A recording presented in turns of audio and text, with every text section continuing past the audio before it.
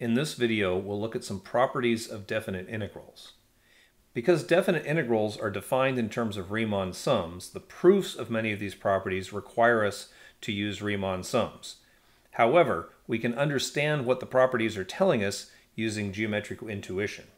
Here's a function, f of x, and we're integrating it from a to b. If we were to let b equal a, then the interval over which we're integrating would be non-existent. That distance would be zero. So all of the delta x's in our Riemann sum would be zero, and the limit of those Riemann sums would also be zero. Now, technically, the definition of a Riemann sum requires the delta x's to be positive, so we actually have to take this as an axiom, just a definition, uh, when we're integrating from a to a. But anytime we integrate a bounded function over a single point, the answer is going to be zero. For example, if someone asks you to find the value of this definite integral, because we're integrating from 5 to 5, the answer must be 0 regardless of what function we have here as the integrand. Our next property concerns what happens when we reverse the endpoints of integration. If we integrate from a to b, and b is bigger than a, we're accumulating area as we move along underneath the curve.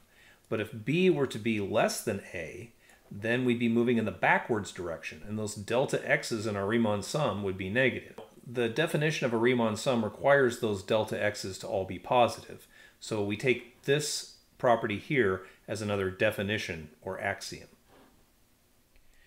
So if we know that the integral from 3 to 6 of some function f of x dx equals 12, then if we reverse that order of integration, if we go from 6 back to 3, the answer must be negative 12. Our next property tells us what happens when we multiply a function by a constant. When we multiply a function by a constant, graphically, the graph of the new function gets scaled by a certain amount. For example, if we set our scale factor to 1 half, each value of the function 1 half f of x is exactly half as tall as the value f of x. So the area underneath this scaled version of the graph is going to be half of the area under the original graph. Another way of thinking about this is that we can factor that scale factor outside of the integral. So, for example, if we know the integral from 2 to 4 of g of x equals 7, then the integral from 2 to 4 of 3 times g of x dx, I forgot the dx up here, must be 3 times the integral from 2 to 4 of g of x dx, which is 3 times 7, which is 21. For our next property, let's look at a third point, c. This property says that the integral from a to b of a function plus the integral from b to c of that same function is the same thing as the integral from a to c. Geometrically, that's just adding this greenish area to this purplish area. This property also works if b, say, is over here. If we take the integral from a to b, we're actually subtracting this red area. Then we add the integral from b to c, which is the red area plus the purple area. So if we take that total integral minus the red area, we get just the purple area, which is the integral from a to c. In fact, this property works regardless of the order of a, b, and c. Here are three more properties of definite integrals. In the first one, it says the integral of a sum is equal to the sum of the integrals. We can visualize this for some simple functions. The integral of f of x is the area of this reddish triangle. The integral of g of x from a to b is the area of this bluish rectangle.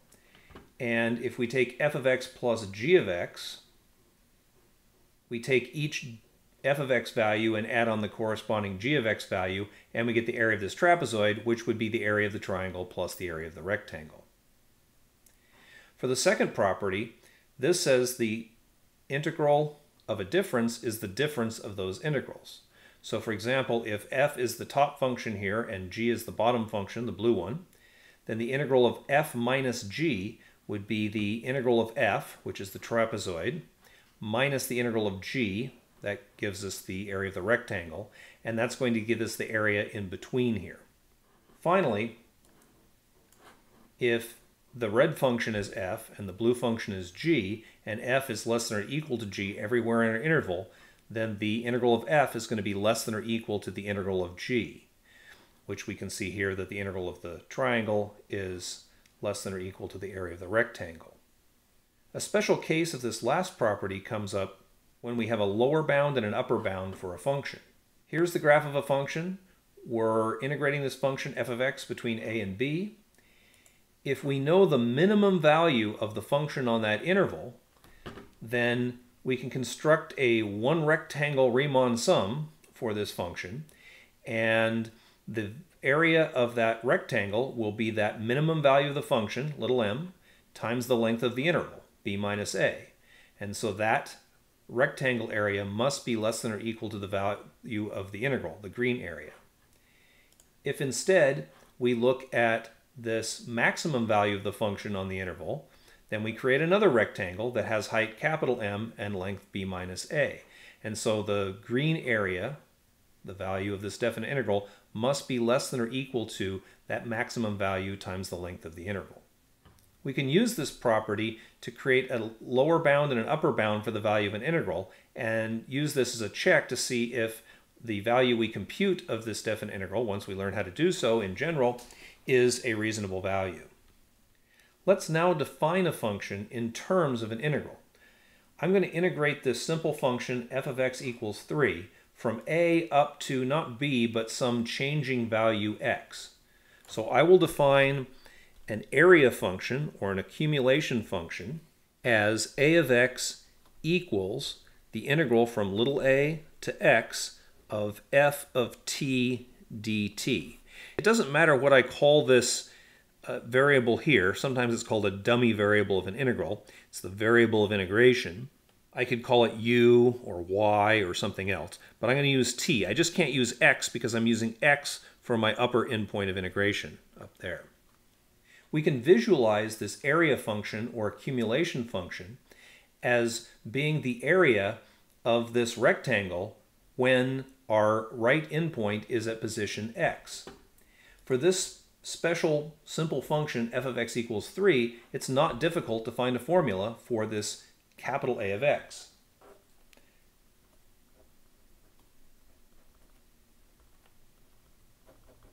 For any value of x, the area function will simply equal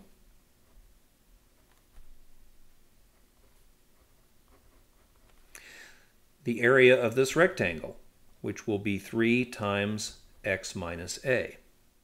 This area value is changing as x changes, and we might want to know the rate at which it's changing. To find that rate, we could take the derivative of our area function, and the derivative of 3x minus 3a, a being a constant, would be 3.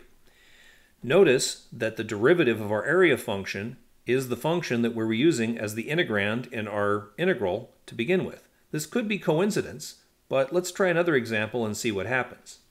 Let's now look at the function x, f of x equals x. Now my area for any value x is going to be the area of this trapezoid.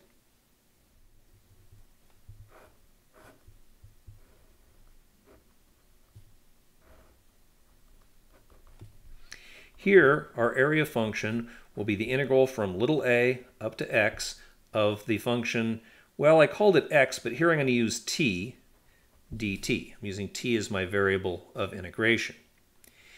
And because this is a trapezoid, I can take the base, which would be x minus a, times the average of the heights.